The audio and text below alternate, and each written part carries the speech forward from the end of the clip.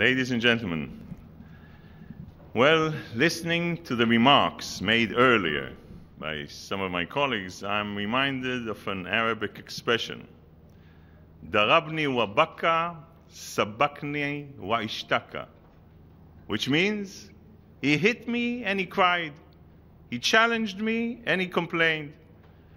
Two weeks ago, Hamas abducted Eyal and Naftali and Gilad, three teenagers who were making their way home from school. Rather than denouncing this appalling attack, the Arab nations have the audacity to stand before you today and criticize Israel.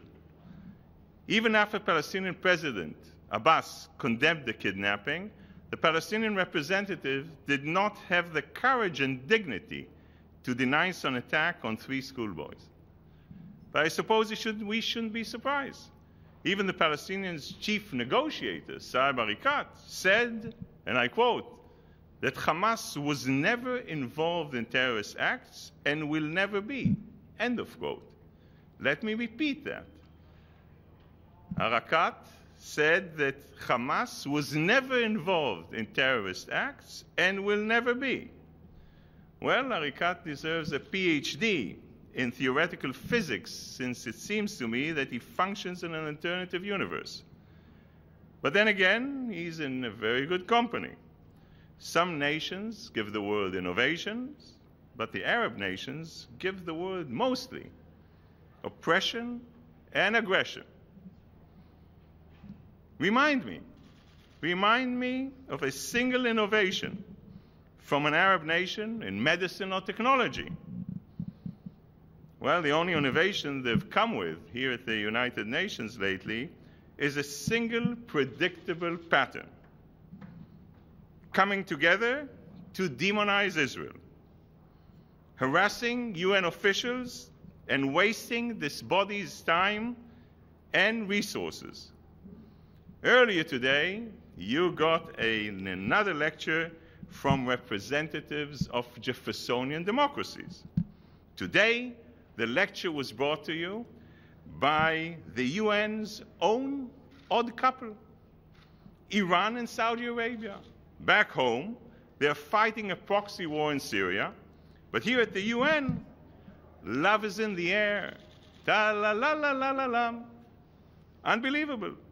The only thing that they have in common, both are cradles of terrorism and radicalism in the Middle East. One created Hezbollah, and the other created Al Qaeda.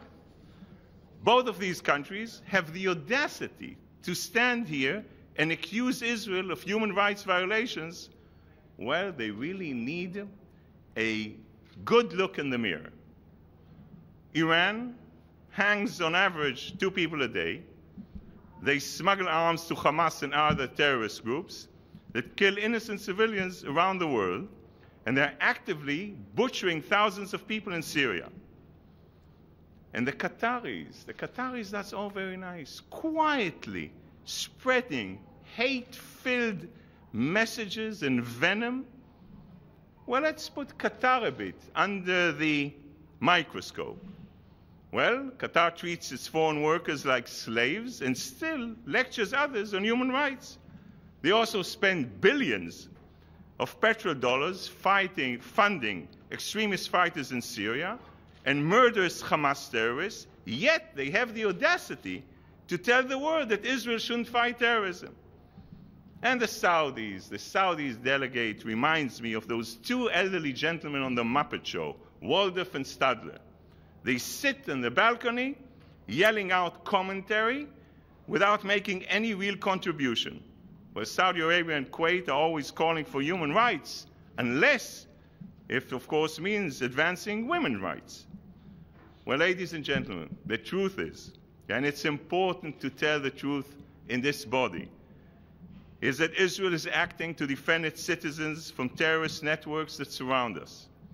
And the truth is, in the last two weeks, Israeli citizens came under attack from three different fronts. In the north, a missile fired from Syria killed a 13 year old Israeli boy. In the south, rockets continue to be fired on Israel from the Gaza Strip. And in Judea and Samaria, Three teenagers were abducted, and there's been no sign of life from them since they went missing. Imagine if it were your cities under fire and your citizens under harm's way. No nation should live under these conditions, and no nation should be asked to submit to terrorist groups. The only responsible course of action is to denounce terror groups and their supporters. And this is exactly what we should all be doing.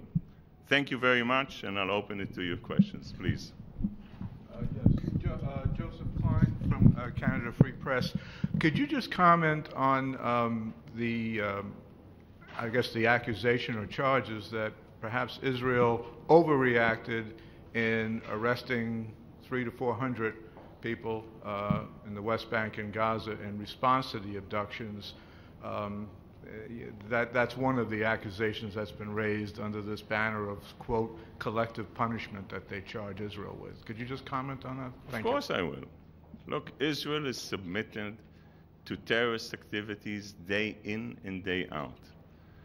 Missiles are flying, like I told you, out of Gaza in 67 lines, in green lines, basically on every city in Israel. And this has become something that people are getting accustomed to. We have teenagers being abducted. A, a, one of the Shalit released prisoners murdering an Israeli uh, police officer. We have from Syria Uh, Israel being attacked on the northern border. I mean, look at this small country. We are entitled to defend ourselves, and if we go after the infrastructure of Hamas, an organization that doesn't recognize Israel's right to exist, doesn't recognize any agreements, and basically pushes and promotes violence, well, that's the one thing that I think every country is allowed to do, and that is to defend its citizens, and that's what we're trying to do every day.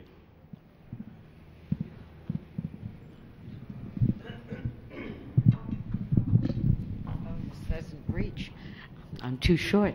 Uh, Ambassador, the other criticism is the expansion of the settlements, which is goes beyond the Palestinian, the Arab ambassadors today. Could you kindly comment on that?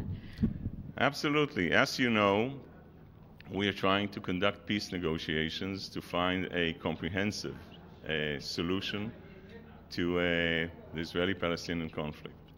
Those are two different things.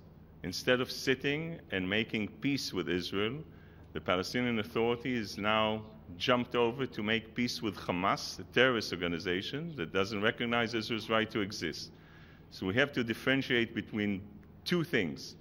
And this is terror and murderous activities against the state of Israel, which every democratic country should defend and do everything it can again, to defend its citizens. And that's the minimum we should be doing.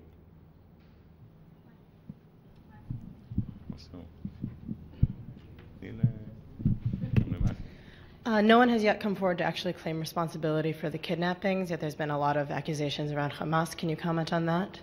Can only say and repeat what the Prime Minister of the State of Israel said that uh, Hamas is behind this, and uh, we are trying to do whatever we can uh, to find uh, uh, the three teenagers.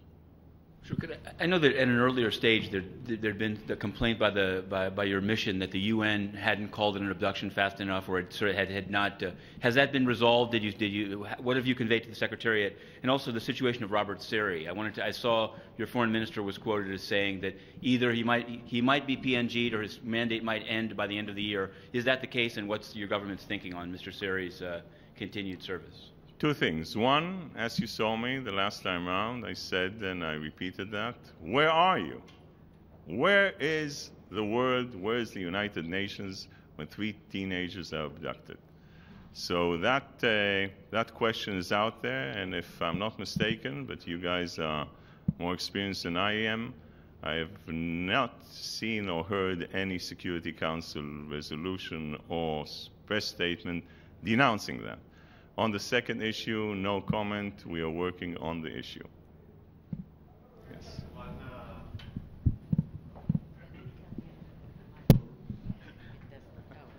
On Syria, uh, th- th- there were there was an attack. Do you know who is responsible to it? And there was a counterattack. Can can you tell us what what uh, what made Israel pick the targets it did? Well, first of all, it was the most serious event that we had on the northern border for a couple of months. Uh, we uh, saw the Syrian army directly responsible for that, and the reaction was exactly to make sure that things like that do not repeat themselves. I think there should be clear lines here. The state of Israel is, uh, as you know, surrounded by uh, countries that are not exactly Benelux countries. We miss Liechtenstein and Luxembourg on the map. And if uh, countries attack us, we will uh, defend our citizens with everything that we've got. Thank you. Thank you. Thank you, gentlemen. Ladies.